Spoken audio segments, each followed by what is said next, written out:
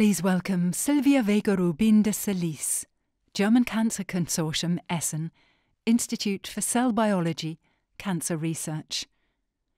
Autophagy modulation as cancer treatment. Thank you for giving me the opportunity to present my data today.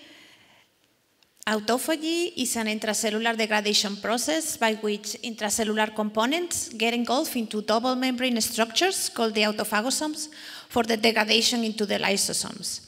Autophagy is implicated in many physiological conditions, such as uh, when we are fasting or when we exercise, but it's also implicated in diseases like cancer.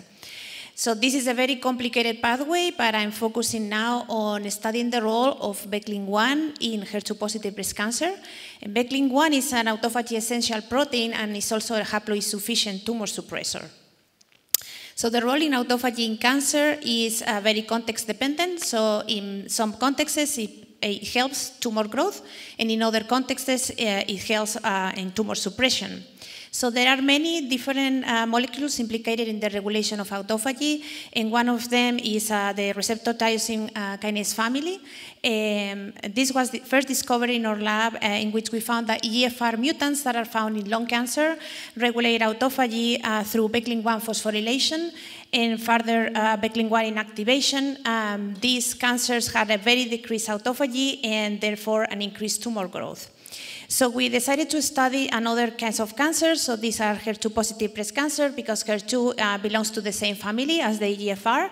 And HER2 is amplified about 20% of breast cancer. And even though HER2 inhibitors are used in the clinic for treating of these cancers, uh, these therapies, they have uh, adverse side effects and eventually the patients develop resistance. So to make a, a long story short, uh, what we find um, recently reported was that in uh, normal normal cells, BECLIN-1 maintains normal levels of autophagy and this leads to normal uh, cell growth. But in HER2-positive patients, um, HER2 binds to BECLIN-1, inhibits autophagy, and this promotes tumor growth. So we treat uh, tumor xenografts uh, with a drug, um, an autophagy-inducing peptide that is actually disrupting, sorry, disrupting um, the uh, uh, HER2 BECLIN-1 binding, and it dramatically decreases uh, the growth of the xenografts, uh, open up the possibility of treating this patient with autophagy-inducing drugs. Thanks for your attention.